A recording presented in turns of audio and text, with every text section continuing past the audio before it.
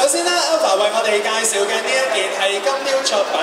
招財鳥。啊，今次咧陳一忠先生亦都特別為呢一件招財鳥加添咗一個八寶袋，寓意住招財招福，亦都令到整件作品啦變得係更加有意思㗎。咁當然啦，我哋請 Alpha 為我哋介紹呢一件嘅作品啦，亦都係希望 Alpha 嚟緊啊喺龍年嘅時候可以賺個。